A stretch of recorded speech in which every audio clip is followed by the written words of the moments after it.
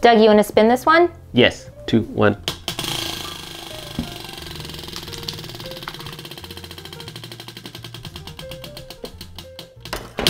Ube lumpia. Ah, that's easy.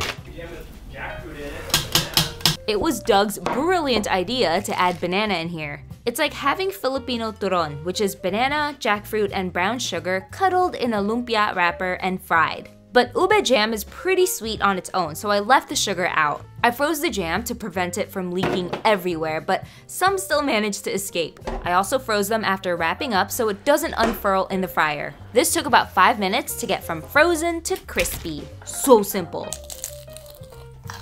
Wow! I was gonna put condensed milk on this, but it's perfect. The banana and the ube jam make it sweet enough, and you get that creaminess from the ube jam. That's really tasty. So much better compared to yesterday's recipe. Give me more ube ideas and we'll see if it makes it in tomorrow's spin.